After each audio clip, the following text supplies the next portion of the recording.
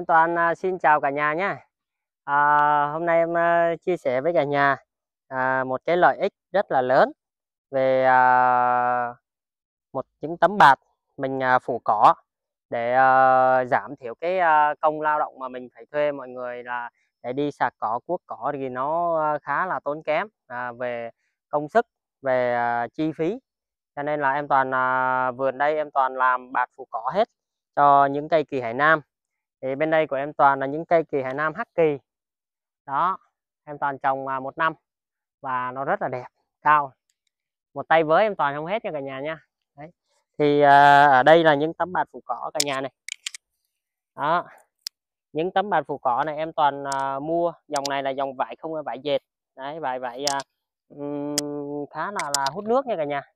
Mình chọn bạt phủ cỏ thì em cũng rất là kén mà mình cũng thử rất là nhiều các loại mà có cái loại bạt này thì nó rất là tuyệt vời.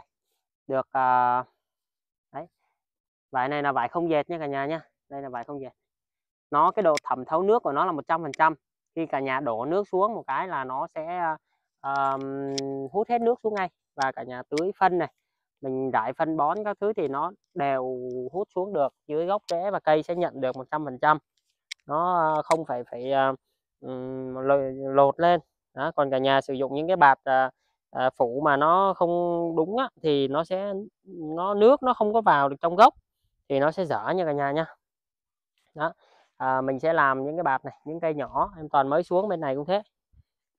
Đó thì cây nó sẽ phát triển rất là ok mà nó không bị cỏ nó nó phủ.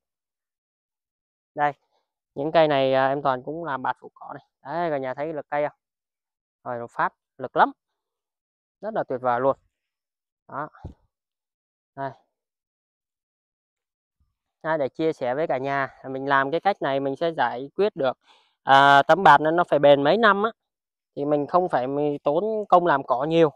À, xung quanh à, xung quanh đây thì mình chỉ có thể mình dùng máy mình phát này hoặc là mình à, um, xịt cỏ. Nó đều không ảnh hưởng đến gốc tại vì cái bạt này kích thước của nó là một mét nhân một mét. Đó nó là một mét vuông đấy cả nhà thì à, mình phủ như thế này là rất là hiệu quả nha.